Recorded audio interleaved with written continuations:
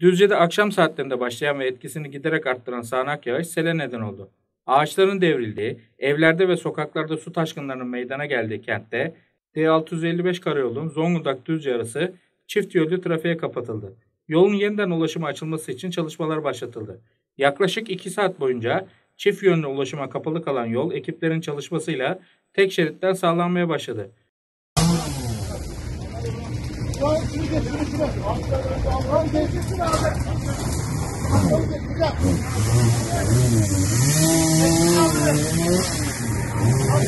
getirsin abi.